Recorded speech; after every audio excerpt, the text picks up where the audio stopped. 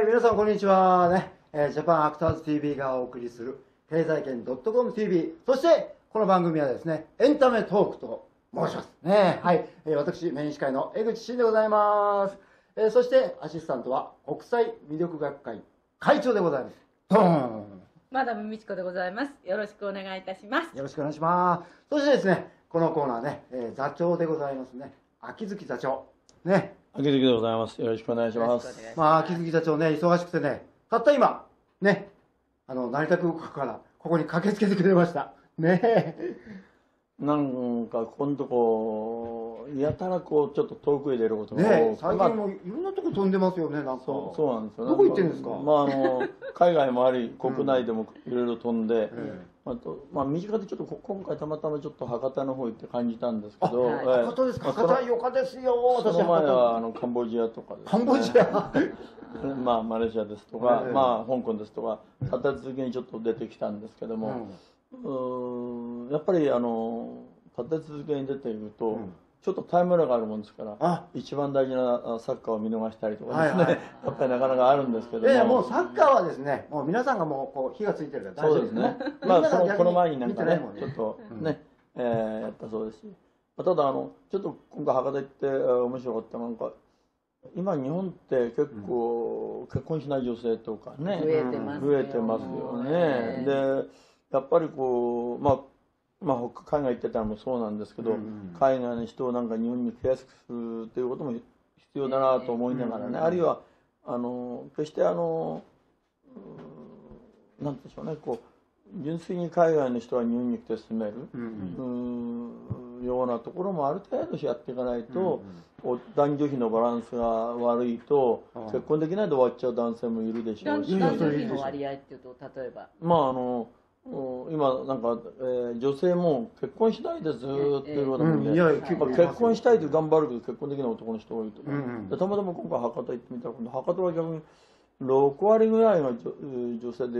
4割ぐらい男性でうん。女性の方は、まあ、小さもちょっと日本国内にもあるみたいなんでうんあ全然今までそれ知らなくてあそういうことあるんだなと。あでもね、うん福岡の場合は僕が小さい頃もなんかそういう比率でしたね。あ女性が多い。うんでなんかな、えーだからあの男性が少ないのに、ん。であの付き合ってる男性も少ないんですよ。ということはねみんながね一人の男性が3人ぐらいなんかかぶってんじゃないかって話になって。うん。ダメですよね。あ そういう話もねあったんですね、あそうなんですね。じゃあ逆のところもあるんですかね。男性の方が多くて女性のうん方まあ、大半が日本全体ではそういう感じだと思う。ね。あ日本の、うんまあ、で、やっぱりあの、最終的に国力っていうのは、まああの、やはり若い人の数だと思うんですよ。そうですよ。生産を、生産をしているところね。で、今、まあ医学が進んできて、えー我々生産年齢っていうか、まあ物事を作っていったり、一応その国民総生産の中に入れる年代が、まあ、我々みたいな年上のお年がいった人でも、ん。まだまだ働けるぞみたいな感じになうそういう意味でやってますけど、ん。だんだんだんだんやっぱりとはいええー若い世代やうん子供の世代が少なくなっていってしまうとそれは本当に国の終わりになってしまうんまあそうですよね。だってね、若い子たちとかね、その人たちが支えていくもんですからね、そうですね。あのあらゆるう税収も含めてそうなんですけど、ですから、えーそれを考えていくとやっぱりね、あのーまあ、前も取り上げた、あのーまだも言ったその安心して子供を産める環境とか、うん。いろんなものもあるんですけども、まあ、あの逆に、えー日本も今あの海外留学をうん。非常に少なくななってしまったんで、まあ、いろんな意味でこう海外との交流そう留学生レベルもあるでしょうし、男女間のレベルでもそうやって広げていくのもこれからの新しい方法なのかなと特にあのねマダムのおっしゃるとあの周りの芸能界とか見てると、うん実際はかなりあのハーフのタレントさんとかトータルのタレントさん多くなってて全然違和感なく日本人と同じような感じで皆さん見てますからそういう意味ではもう全然あのそろそろね、あのまあ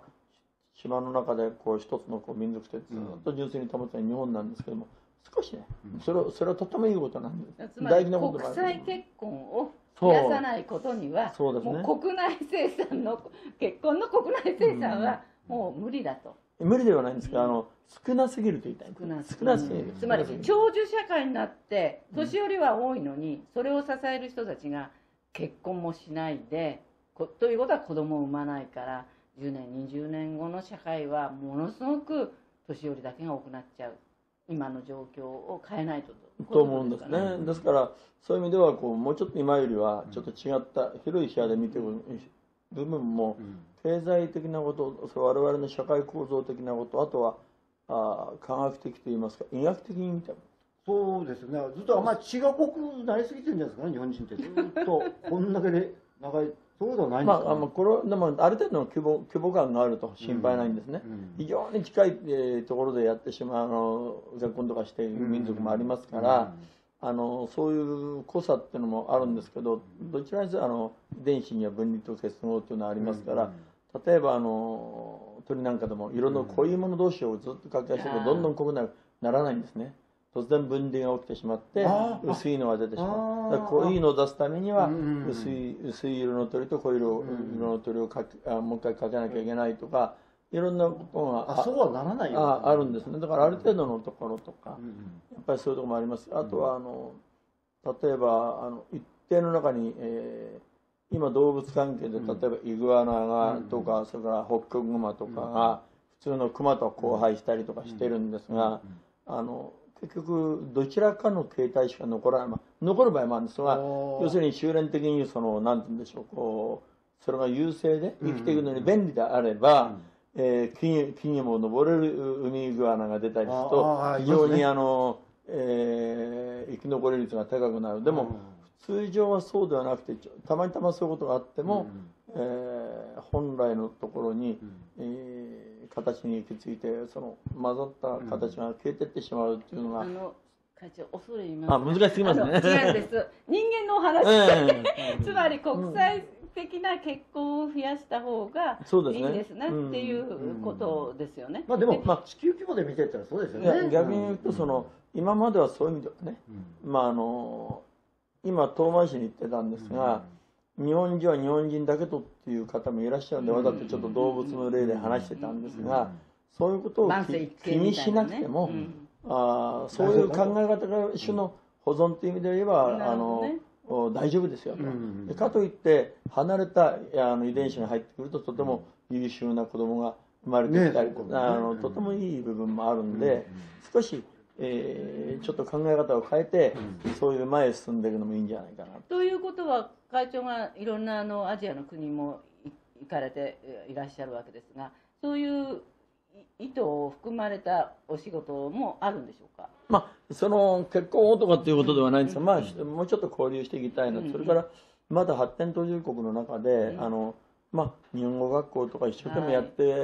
るところとかあるんですね、はい。ところが、まあ、あの残念ながら、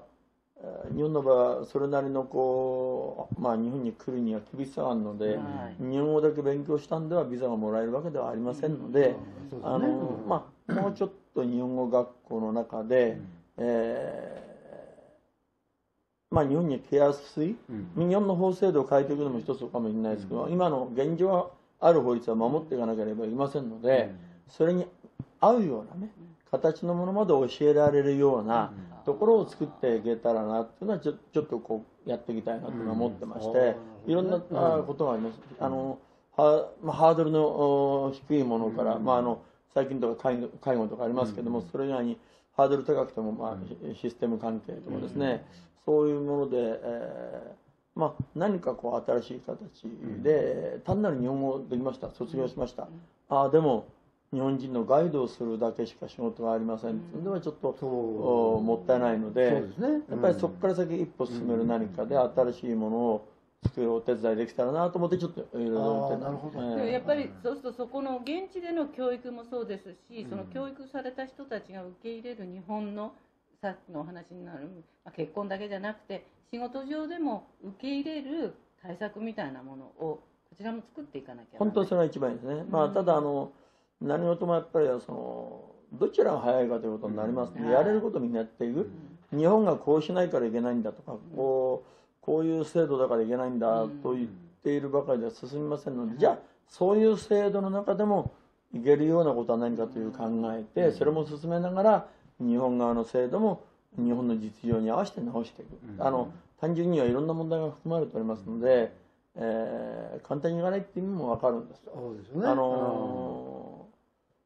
日本人の職が奪われてはいけないっていう部分もあるんですね。でも僕はあのあんまりそういうの本当は心配をしてないんですけども、うんそういう考え方をしてらっしゃる方もいますので、はいあの制限をかけている場合もありますよね。でそれぞれの国々でまたちょっといろんな制限のかけ方があるんで決してその昔ゴルバチョフさんがアメリカ行った時にあの日本が最も日本は大きなあのえー要するに社会ということをやってましたから、あの最大に成功成功し最高に成功した社会主義の国だ。っていうねえーえー全体でご総選択方式で昔やってましたからね、そういう言われ方したんですが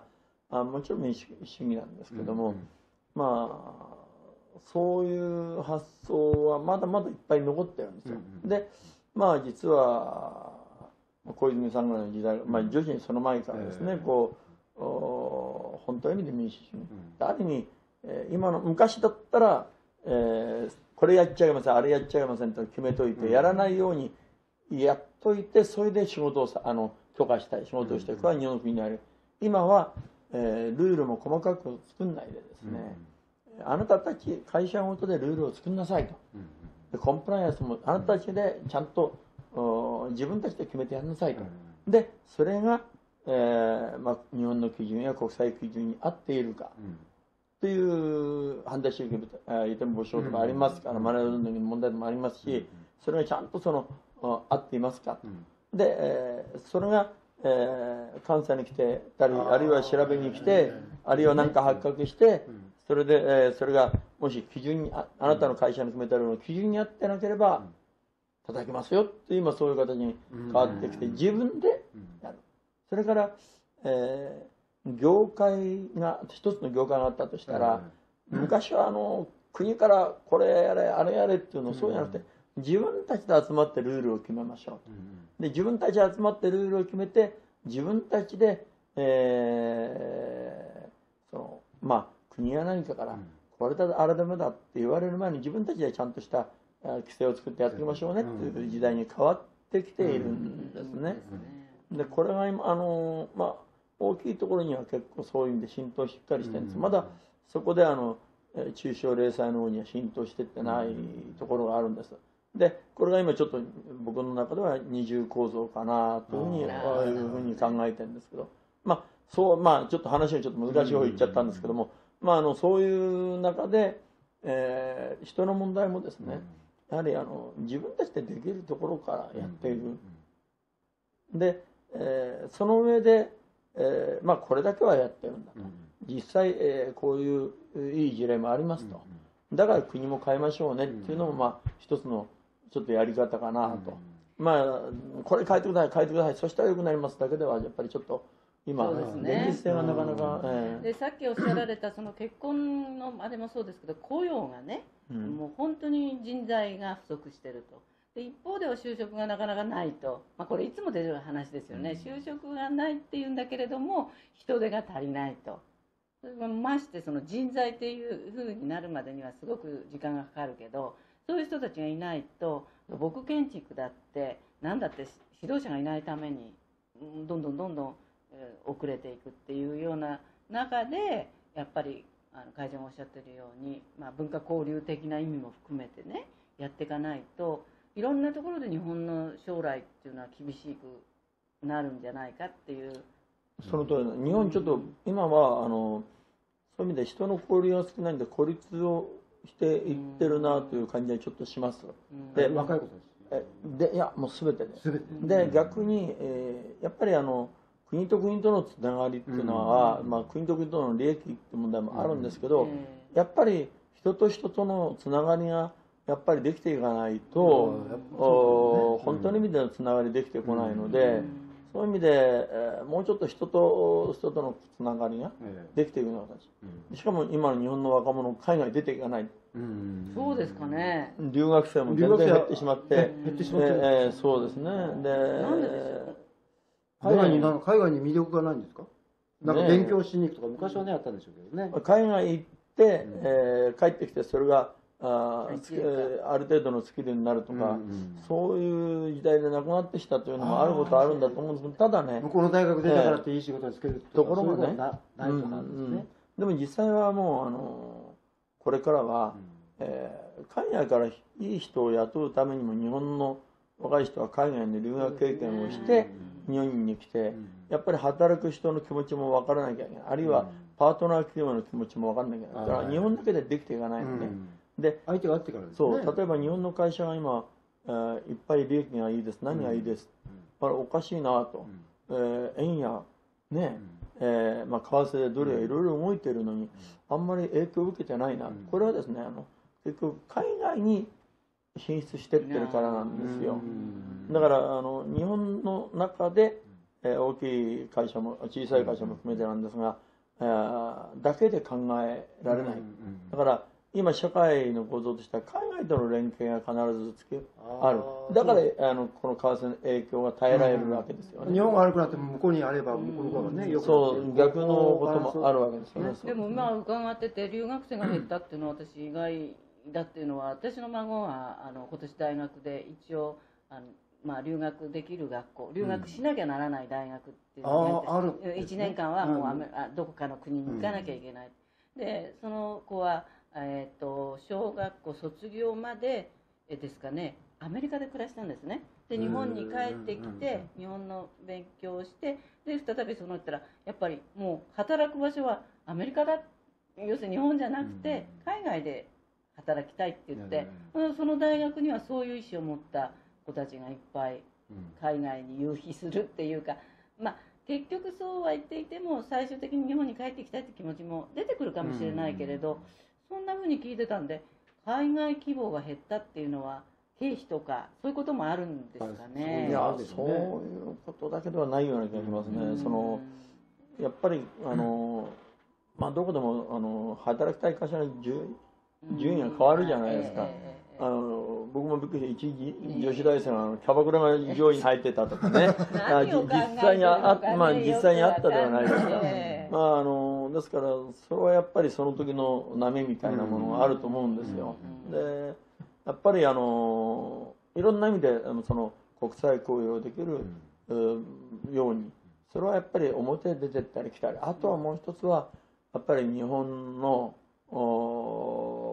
日本人が日本からお金を持ってってでも向こうで少しでも今度は日本語の話せる人、日本語を話すってことは日本に興味の人ある人が集まってきますから、そうするとおその人たちは大事な日本のパートナーとして将来育ってくる可能性があります。うん。で、え。ーまあ、もうすでにそういう努力をなさってて、えーそういう日本学校出た人が政府のおそれなりのあ、まあ、発展途上の役人になってたりとかですね、そういうことでパイプがあったりとかいろんないいこともありますんで、ただ、えーまあ、さっきも言いましたように、日本語だけ覚えても、お全然日本にただ来れませんではいけないんで、もうちょっと何か、えー日本に来れやすくし日本側もしなきゃいけないし、でも、えー今法律ではありますからそれを守りながらんでじゃあ向こう側でもうちょっとねもう一段上の日本に来れるような、あー専門的なものを加えましょうと。日本語のレベルを卒業したらそこを卒業して、卒業卒業したら日本来れやすいようにとか、なんかそういう交流は保てるようなそういうところをちょっと新しくやっぱりこういろんなといろんな日本語学校あったり、うん。そこになければ作ったりしてそうですね。やっていかなきゃいけないんじゃないかな。けじゃなくてだから日本に行くための職業訓練高校みたいな感じですまあそうじゃないんだまあまあまあまあまあまあ、まあ、あので興味持ってる人は、あ日本語学びに来るでしょうからね。でも会長はそれをお一人だけじゃなくて、まあ、一種のあの他の企業ともコラボしながらあまああのとですかまああの実はね、まあ、いろんなこう、まあ、皆さんも知ってるような有名なところの、会社の、まあ、昔社長さんなさってて、もう今あの、まあ、会長さんとか、はいはいあるいは引退なさった方々がまだまだ元気でね、ええー何か日本のためにやろうという方々がい。らっしゃるので、まあ、そういう諸先輩にいろいろちょっと頭叩いてもらって教えてもらいながら、うん。えー一緒にいろいろできたらと思っています。ありがたいですよね。まあ、若干その方々より僕の若干若いので、まあ、駒遣いでもやりながら少しでもこう前へ進めたらいいかなと思ってちょっと協力しながらね。素晴らしいですあよのね。協力していただいたり協力しながらちょっとやろうと一生懸命えでもあの座長の場合はそういう方たちにこうあの会いに行くんですか？例えば。例えばこうしこういう話話題からこう入っていってその人にお会いするであのいろんな機会で偶然お知り合いにはなる機会がちょっとありますんであの今ちょっとあのそうですね。周りでそう知り合うチャンスは多いので、うん。そういう中でまあそういう意味ではあのまだまだあの元気な方がね、いっぱいいらっしゃるんで、えーそういう例えばなんでしょうね。まあ言い方悪いけど例えば警察を終わったら例えば、えー警備法障害者とか昔だったらね、あるいはああるいはあのある業界とかそういうところで行けるところはあると。だけどまだまだ活躍できるから、でもう一般のやっぱりそれなりに一家を成した方でも、えーもう引きたいやと思って、えー一旦離れて、ところがやっぱり半年1年経つとね、飽きちゃう血がわ。いや血が湧くんですよねあ血が騒ぎ出若すいんですよ心は。暇な時間に飽きてしまう。心いや暇ってことなんですよね。心は若いから新しいものをなんか作り上げたいっていう方がいっぱいいらっしゃるんで、でも嬉しいですよねそういう方がねだっているまあ日本にはいっぱいそういう方おられますし、政治だけじゃどうにもできないでしょですごい経験があられるからうん。すごい知識も深くてうん。そういう方々がやろうと。うん。でもそれ今までだったら一人で、えー例えば何かやってるとうん「会長風もあ何ったでしょうしね。会長何言ってんですかもうゆっくりしてくださいよ」って終わっちゃったんだけどそれはまあみんなで集まるとねうん。それなりにいやいいあの力になるんだまだまだ俺たちはみたいな感じそうですそうですね。うん。だからあの若い人はとかく年を取った人の経験とかなんとかをちょっとねバカにするみたいなところもあるけれどやはり団塊世代がねガッといなくなっちゃって良き指導者も減ってますよね。うんやっぱりあの私の知り合いもそういう意味であのちょっとアジアの方ですね、ええ。あのまああのお行かれたんですが、やっぱりすごい勢いでその向こうのお若い会社がわーっと集まってきて、日本とこういうこともやりたいこういうこともやりたいこういうこともやりたい、逆に日本ではこういうことで来てくれないかっていっぱい受けてきたりしてあの全然違うね、まああの自分の、まあ、元やってたあー会社の社長やってた会社のおために視察に行ったらもう業種超えてね、まああのそれこそ国を挙げてじゃないけどいろんな人集まっていろんなことを頼まれたっていうふうにやっぱりあの言ってらっしゃる方がいて、まあ、そのうちちょっとチャンスがあれば一回ちょっとゲストに来てもらえたらと思うん。ですが、まあ、そういう話を聞くとうね。んやっぱりあのちょっとねいや日本は信頼されてるなと思いました。あ世界からね。